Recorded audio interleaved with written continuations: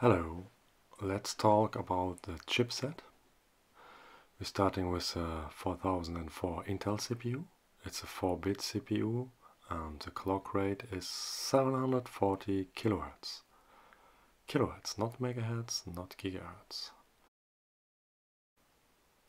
Can uh, access 4 kilobytes of ROM and up to 640 bytes of random access memory. Let's talk about the programmable read-only memory. It has 256 bytes of capacity and 4 I.O. ports. You can use them for input or output.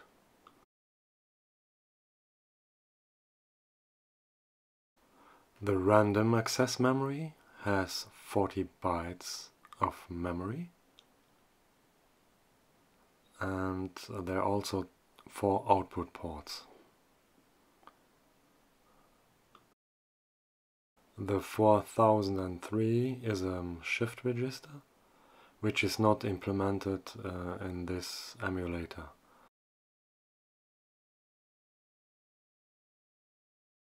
Let's have a look at the pinouts of the ROM chip. Address and data are transferred in and out by time multiplexing on these four data bus lines. Timing is internally generated using two clock signals, Phi1 and Phi2, and the sync signal uh, is supplied by the CPU. Here are the four input-output lines. Let's switch to the RAM chip. The same data bus lines. The two clock signals and the sync signal. And four output ports. On the CPU you can find the same um, multiplex lines, the two clock signals and the sync output port. The memory bank switching is done by these pins. The input test signal corresponds to the test flag in the CPU. Let's switch to the emulator. The program is web-based you can find the link in the video description. It's written in JavaScript by a Polish guy. I don't know how to pronounce his name. There are three buttons, an emulator, a disassembler and an assembler. Um, let's start with the emulator. This block shows the inner life of a memory chip and here another memory chip. Here the input-output ports of the ROM chip, the CPU, the hardware configuration and the content of the ROM. Let's examine the CPU block. Here is a 12-bit program counter. Level 1, 2 and 3 is a stack pointer. A 4-bit accumulator and 16 4-bit registers, numbered from 0 to 15. There are two flags, one carry flag and a test flag. The flag corresponds to the input test signal. Cycles and the next command. You can actually pair two registers. 0p behaves like an 8-bit register 8-bit register 1P, 2P, 3P, 4P, 5P, 6P and 7P. Let's do an example and load the accumulator. LDM 4 generating the code. Here you find the object code and here the hex code. You have to copy the object code and paste it in the ROM block. Load the program. program counter 0, hex code D4, which corresponds to LDM4. Step program counter incremented, and the accumulator is 4. I will load the pair register 0. Let's fetch immediate, and let's put the value hexadecimal value 12. Then the third pairing register and um, the last pairing register value FF.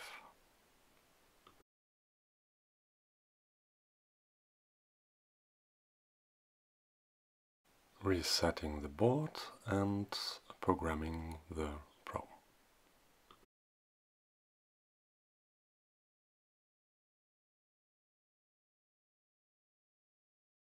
Fetch immediate pairing register 0 with number 12. 0, 1, 2, 3 pairing register 3 with value 34 and the last one FF.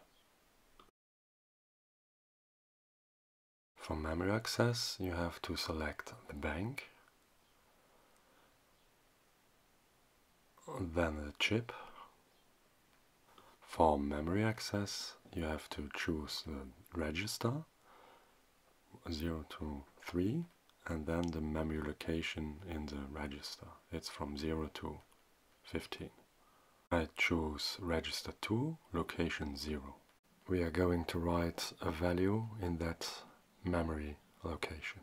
With the value of the accumulator, you choose the memory bank. The designate command line will operate the CM RAM pins on the CPU.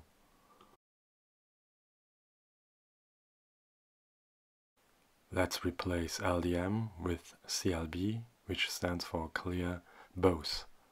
It clears the um, accumulator uh, and also the carry flag.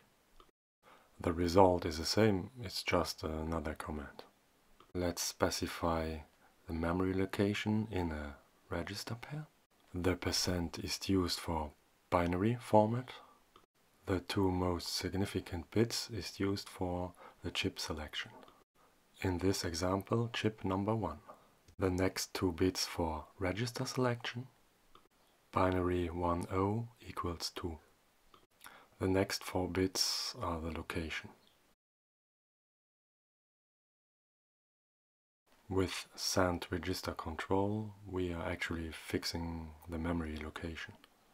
Let's enter value in the accumulator and writing to the memory.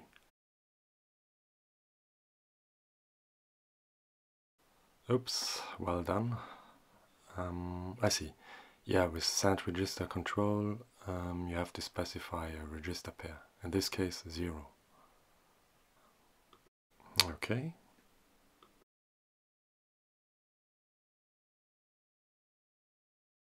pasting the code.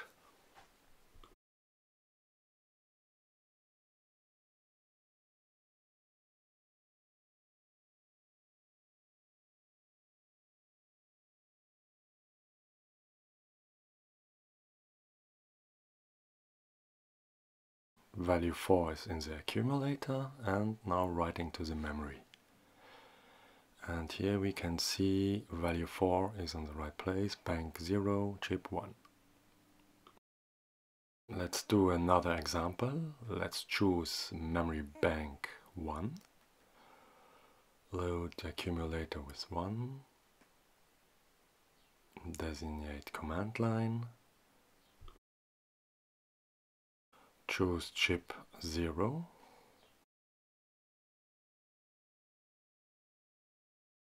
and register 0. Position 15.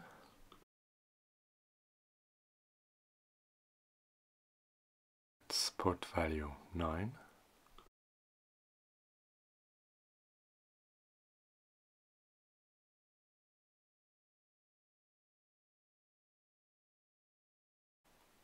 loading the program and resetting the CPU.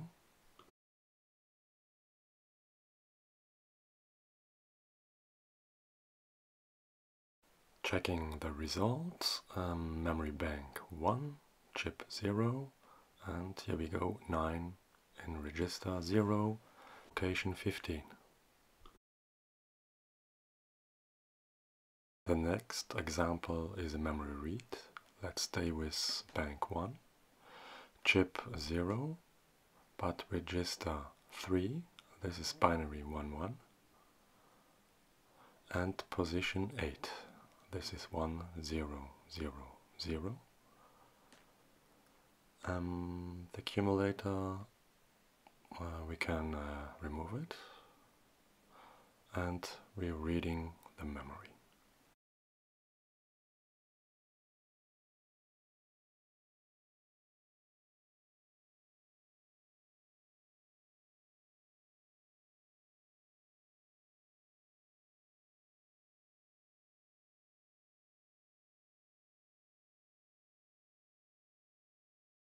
Before reading the memory, let's just change the value directly in memory. Um, register 3 and position 8. Let's put 5 in here.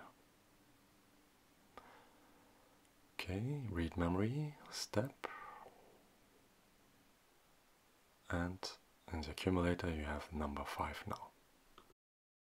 We haven't talked about the status character yet. Um, it's just normal memory, but you use different commands to access it. Let's choose the bank 0 and uh, chip selection yes 0 and register 2 this is 1 2 and the rest uh, we don't need it because the command we are going the command we are going to use uh, doesn't take care of it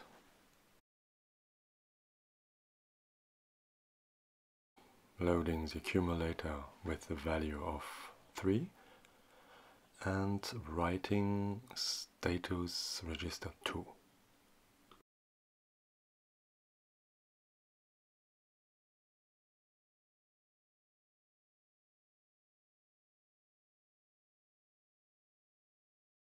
Pasting the commands and we're going to switch back to bank 0 and the reset.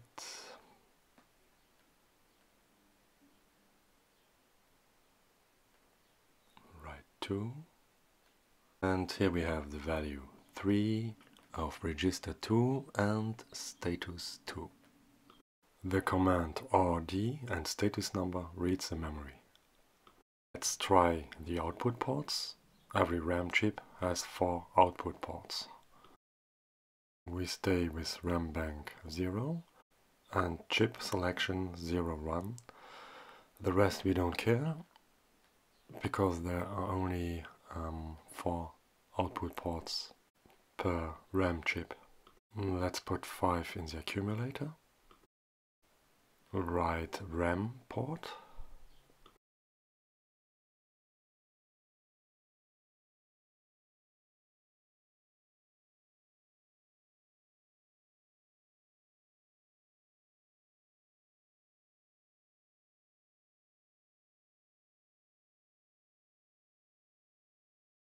the result is 5 1 and 4 is 5 um, I think the the labels are wrong.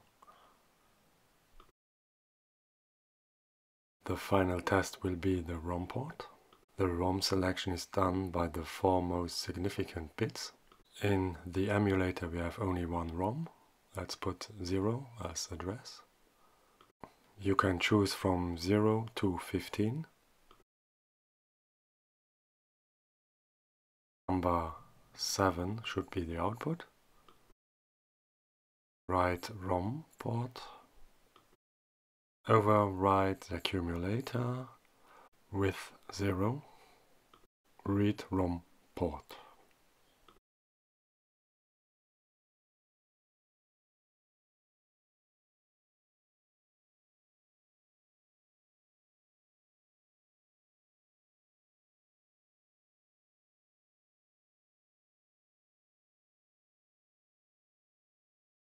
Let's stop after write ROM port the output is 7.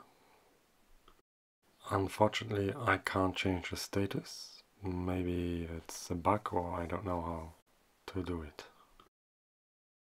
Next step, clearing the accumulator, it's 0 now, and reading the ROM port, which is 7. I hope you enjoyed the video. Maybe I will do a second part. Thank you very much and bye bye.